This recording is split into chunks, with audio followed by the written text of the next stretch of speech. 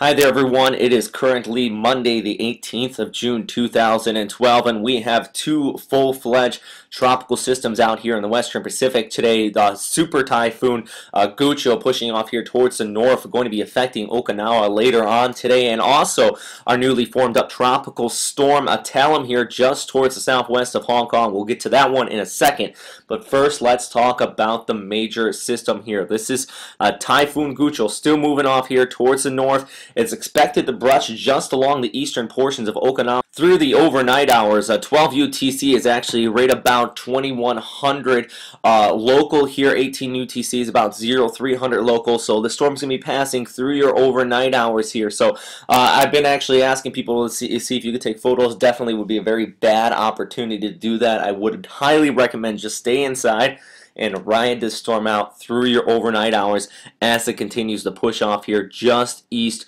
of your location, pushing off towards the rest of the Amami region before affecting uh, mainland Japan later on this week. So at this time, though, I know for the military bases here in Okinawa, you have been issued TCOR 1. It means a lot of the facilities on these bases have been closed down. Really, just at this time, time to start to stay indoors, get ready for the storm as it passes by. Uh, don't venture out too much here as as it continues to do so. At least at this time, uh, the uh, winds of 50 knots or greater should be expected here over much of Okinawa. Don't expect those main uh, core typhoon strength to affect much of the islands here. That's this uh, core right near the center. You can see it right about in this area. It should stay just offshore, but still typhoon strength winds could be affecting here, just not those 100 knot or greater ones. You might see some wind gusts up there though, and also the possibility that you could be seeing uh, some uh, really heavy rainfall, even flooding rains, plus the risk of a tornadic activity. Let's take a look at the satellite imagery show you what I'm talking about here. It is this banding here right along the northern periphery, actually a very good outflow coming out of the storm right now.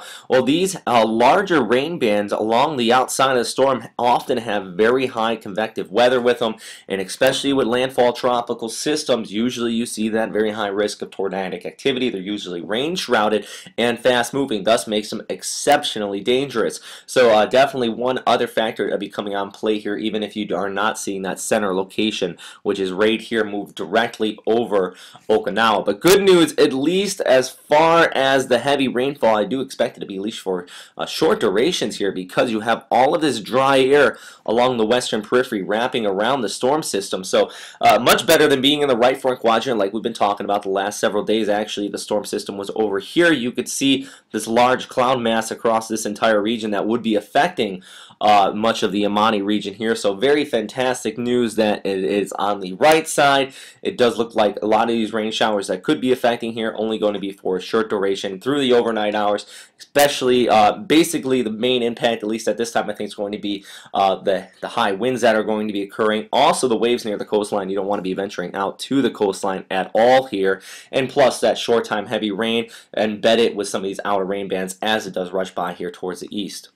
And some of these rain bands are actually already starting to show phase here at approximately uh, 02 Zulu or about 1100 uh, uh, Japan Standard Time. You do see some of these bands down here just towards the south pushing in. So these are already going to be starting to bring you some of those rain showers. Um, these ones here in the blues only about 10, 5 to 10 millimeters an hour. Once you start to get those greens to the yellows, that gets up to those flooding rains up to about 20 to 30 millimeters an hour. So definitely uh, it's going to be very hazardous here. Now it also is going to be being being very hazardous to mainland Japan after this pushes by. If we go back to that track actually here from the Joint Typhoon Warning Center, you can see that they're expecting it uh, to make landfall actually down here near the Kii Peninsula. If you remember last year, uh, the Kii Peninsula was absolutely devastated by flooding rains from Typhoon Talas that made landfall in this area. So you can remember that this area is very prone to landslides. Heavy rainfall could be occurring as this does move on shore. I'm very happy the Joint Typhoon Warning Center actually moved their track over uh, towards this region, moving it across mainland Japan here. By this time, it likely will start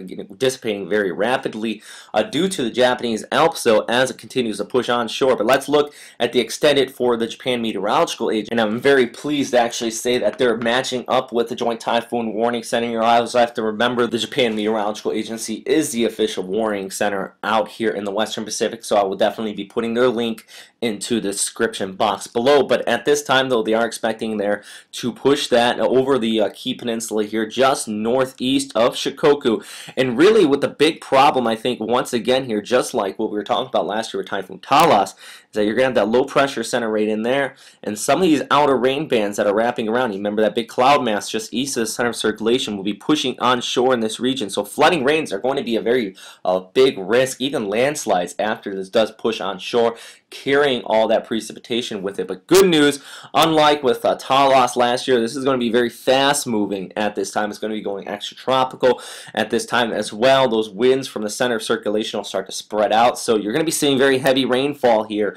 But I, I do think that above 50 millimeters an hour very likely going to be occurring, but it's not going to be occurring over a very long duration because you can see here uh, this is actually by Tuesday morning right here and then this is by actually Wednesday morning and then it's off there towards the northeast uh, going into Thursday morning so a very quick moving storm at least by the time it starts to move over mainland Japan but as far as any significant warnings issued at this time across Japan actually uh, the Okinawa region here you're already seeing some high wave warnings being issued if we click on that link there go down you can see that all these areas are under high wave warnings gale storm surge and thunderstorm advisories as well. Expect those all to be increased into the red by the latter part of this week. Remember, all these warnings can be found on the uh, JMA's portal or web page here. Now, uh, Japan's not the only place under fire this week due to tropical systems, though. Let's look out here towards the west, just southwest of Hong Kong, towards the east of Hainan. This is now Tropical Storm Talim. Now, Talim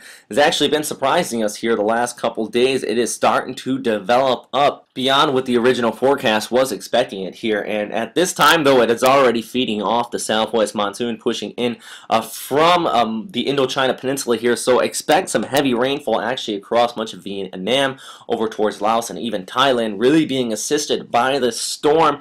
And then through the next couple days, it's actually expected to start to follow a Guchol off here towards the northeast, really running just along the eastern seaboard of southeastern China here, and then eventually affecting Taiwan. We have been talking about exceptionally heavy flooding rains across much of Taiwan and southeastern China last uh, several weeks now.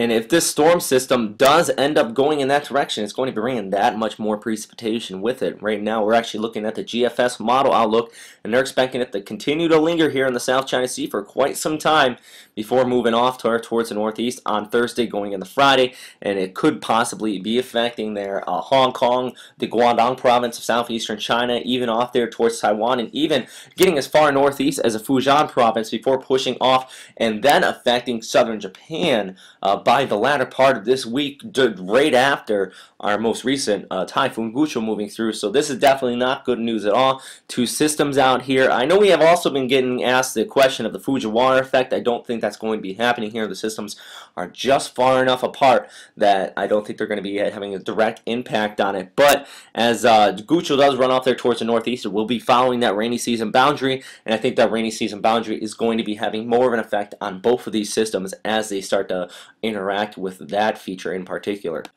And this is actually what a JMA is saying on this system. They have it developing and moving off there towards the east a little bit faster uh, than that model outlook does. But here showing uh, by uh, about the morning of the 19th, that would be Tuesday morning, then going into Wednesday morning, and eventually up here uh, to Thursday morning, passing through the Taiwan Strait just southeast of Hong Kong. I know that uh, Signal Force 1 was actually issued here yesterday. Uh, very gusty winds as well. And do check out actually our Typhoon Chasers channel here at westernpacificweather.com. I'll put the the uh, link up into the top right near the end of this update. But uh, he's going to be uh, trying to uh, get some footage out here today on this tropical storm, especially some of the gusty winds around Hong Kong here, but also over towards Taiwan.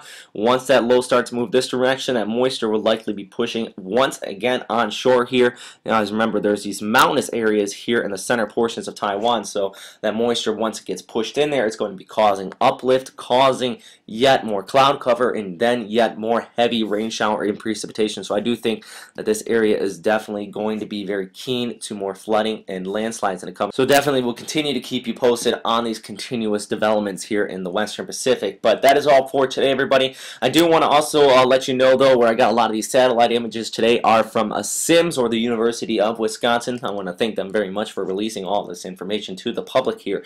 But I'll leave you here with this uh, tropical precipitational moisture in the atmosphere graphic. And as always, if you have any questions, comments, or suggestions, please post them in the comment box below. Also, it helps us out a lot if you hit the like button or share it out, this video out that is. It definitely more information getting out there to the public helps everybody out, but I do want to remind you we're not the official agency out here in the Western Pacific. That is at all, actually. Uh, that is the Japan Meteorological Agency here, or JMA. Also, for any of your local agencies, Taiwan has a, a weather bureau forecasting for tropical systems. Uh, China does as well, and so does Hong Kong. So all these areas down here are getting complete coverage from your local official WMO approved agency. So thanks again for watching here, everybody, though. Stay safe out there. And uh, oh, one last thing though, I will not have another update until about 15 Universal Time this evening. It's about midnight Japan Standard Time. Do apologize for that. I actually have to go to work today. It is Monday, uh, but I will be still assisting you here. Please watch on NHK World. I will not be on air today. I will just be feeding and producing